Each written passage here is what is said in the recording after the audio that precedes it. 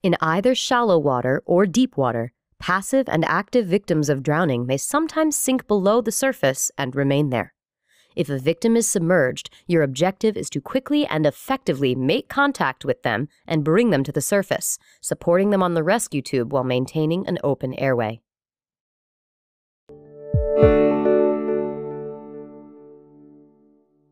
In shallow water, approach a passive submerged victim by quickly swimming or walking to their side.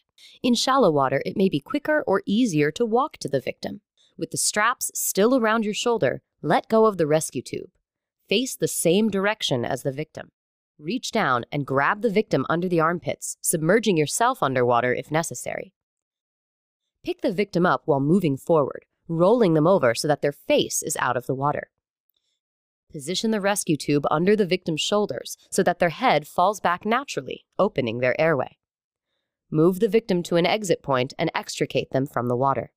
Then, assess the victim's condition and provide appropriate care.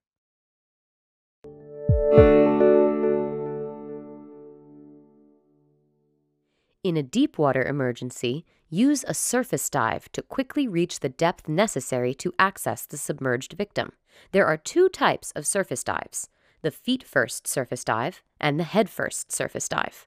As a lifeguard, you must be able to perform both.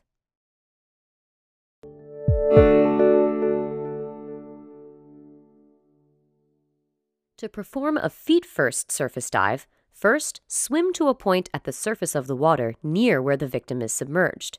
Keeping the strap around your shoulders, release the rescue tube.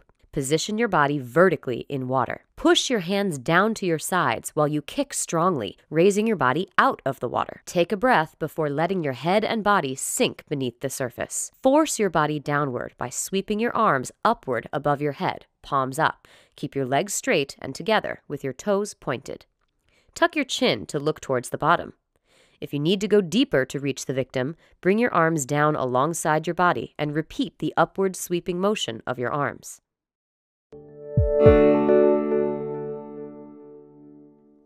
As with the feet first surface dive, to perform a head first surface dive, first swim to a point at the surface of the water near where the victim is submerged. Keeping the strap around your shoulders, release the rescue tube if necessary. Build your momentum with a swimming stroke and take a deep breath. Bring both arms along your thighs, tuck your chin, and bend at the hips as you reach downward through the water. Lift your legs straight and together out of the water. You should be fully extended, streamlined, and nearly vertical as the weight of your legs above the water drives you downward. To go deeper, do a simultaneous pull with both arms as many times as necessary until you reach the victim.